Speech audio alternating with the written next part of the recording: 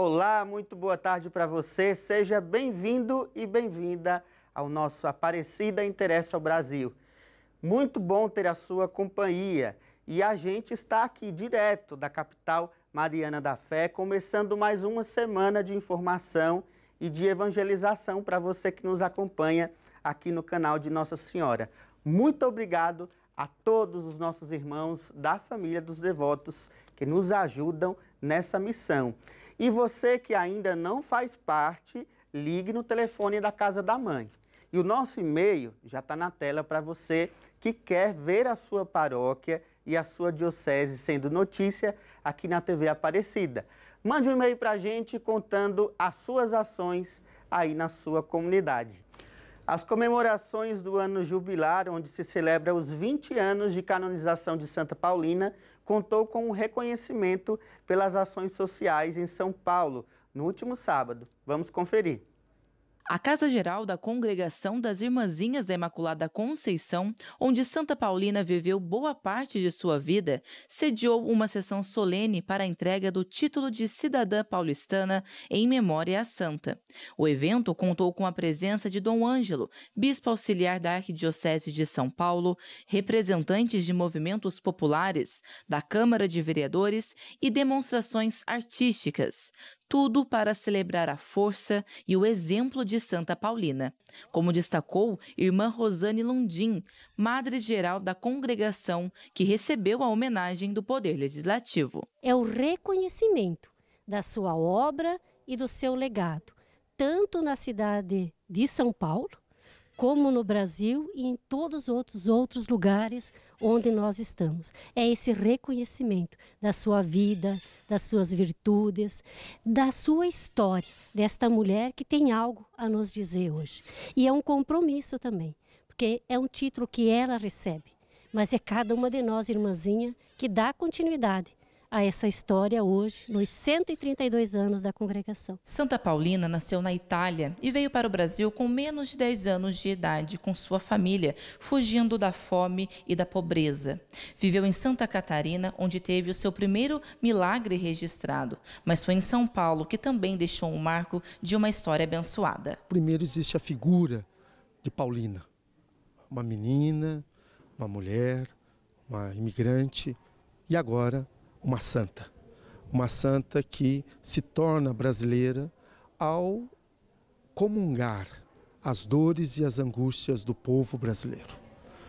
E depois, uma santa que responde, a partir de São Paulo, de maneira feminina e institucional. Como mulher, como cristã, como seguidora de Jesus, ela trata de claro, na mentalidade do seu tempo, com, seguindo o ritual do seu tempo, seguindo inclusive a, os valores do seu tempo, consolidar uma entrega de compromisso com a proposta do reino de Deus. Para todas as pessoas, de modo especial para as mulheres, é de esperança, de nunca desanimar, mesmo que venham ventos contrários, como Paulina nos lembra, de colocar a nossa vida a serviço de todas as pessoas que precisam de nós. E dizer que vale a pena, vale a pena doar a vida por uma causa. Agora a gente confere as informações aqui da capital Mariana da Fé. No sábado aconteceu a missa vocacional no Santuário Nacional. Vamos ver. A missa teve início às 18 horas no altar central da Basílica. O santuário contou com a presença de romarias e os devotos puderam participar das celebrações, entre elas a missa vocacional do Secretariado Vocacional Redentorista. A missa foi celebrada pelo missionário redentorista Padre Tiago Samuel Nunes Ferro, que faz parte da equipe ampliada dos agentes vocacionais redentoristas e também responsável pelo serviço de animação vocacional. Na homilia, a palavra permanece na vocação que é estar próximo a Jesus e permanecer em seu amor, misericórdia e perdão. Partindo da dimensão da fé, a vocação sempre parte de Deus, sempre parte de nosso Pai. Deus é o Senhor de toda a vocação, O primeiro chamado que ele faz a cada um de nós, seres humanos, filhos e filhas amados, é o chamado à vida. Dele recebemos a vida como verdadeiro dom e missão missão de amor. Depois disso, o padre também reforçou que é preciso perseverança para um caminho vocacional e alcançar a graça. E hoje vamos falar de uma importante festa para Minas Gerais. São 62 anos da padroeira, Nossa Senhora da Piedade. Quem fala com a gente a respeito do assunto é o padre Samuel Fidelis, pró-reitor do Santuário Basílica da Piedade. Padre, seja muito bem-vindo ao, ao Aparecida Interessa ao Brasil. Muito boa tarde para o senhor. Boa tarde, Eduardo. Boa tarde a todos que nos acompanham. É uma alegria poder estar com vocês. Padre, eu gostaria de é, perguntar para o senhor né, como que anda né, aí as expectativas para a festa que a gente celebra esse ano e como os devotos da piedade estão esperando esse momento. Então, para nós já é uma grande alegria, né? É, são quase 300 anos dessa tradição de subir ao alto dessa montanha sagrada, que é uma beleza que nos encanta, e particularmente já há 62 anos poder celebrá-la como padroeira do estado de Minas Gerais. Essa imagem, que é uma obra de Aleijadinho, fala de um encontro do amor de uma mãe com seu filho, ali naquele momento passando pela experiência da morte, da dor, e nela todos nós nos encontramos. Na imagem Nossa Senhora da Piedade está aquilo que os mineiros trazem de modo especial: acolhida, o aconchego, a confiança, a fé. Padre, é, a, a, os títulos marianos eles são diversos, né? É, mas Nossa Senhora da Piedade ela traz aí dentro da sua devoção é algo de especial, né? O que o devoto tem a aprender com esse título de Nossa Senhora? Então, a experiência da paixão. É, essa imagem segue esse gênero que a gente chama de pietá, que tenta traduzir o intraduzível, que é aquele sentimento que Maria tem ao tomar nos braços o filho morto. Então, ela reproduz este momento onde o Cristo radicalmente nos ama. Essa é a grande mensagem é, da imagem de Nossa Senhora da Piedade o amor incansável de Cristo até o fim, até a última gota de sangue, e que encontra uma expressão muito forte na medida em que unido ao coração de Maria. Então, costumo dizer que nessa imagem, é, três paixões sempre se encantam: a do Cristo, a paixão de Nossa Senhora, cuja espada é, atravessa seu coração, e as nossas paixões. Todos nós encontramos refúgio neste grande colo de Nossa Senhora da Piedade. A gente teve durante esse ano também um momento especial porque de certa forma a gente está vencendo a pandemia, né? Diferente de 2021, onde ainda existia muita restrição, e também de 2020, onde as portas, da, as portas das igrejas estavam fechadas por conta da pandemia, esse ano a gente tem uma nova esperança com essa festa. O senhor concorda?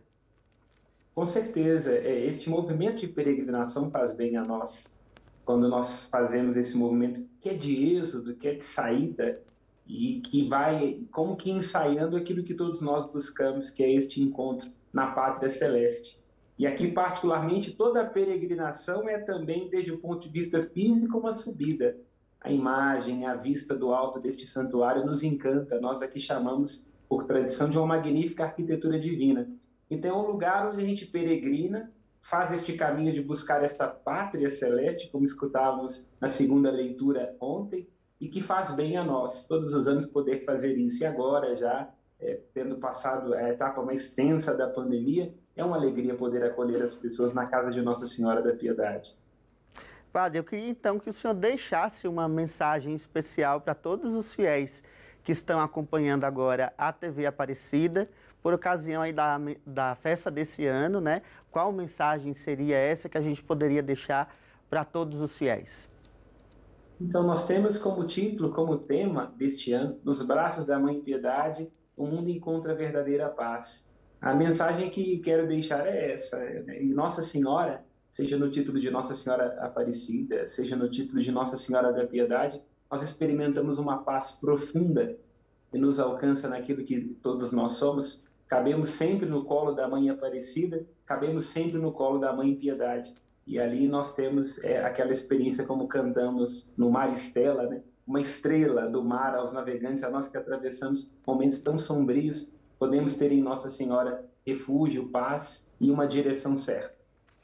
Padre, eu gostaria então de agradecer a sua participação aqui no Aparecida Interessa ao Brasil e desejar uma boa festa para o senhor e para todos os fiéis que estão acompanhando aí a programação deste ano de 2022, tá bom? Muito obrigado. Nós que agradecemos e o convite a virem aqui conhecer a Casa da Mãe Piedade. Obrigado, padre.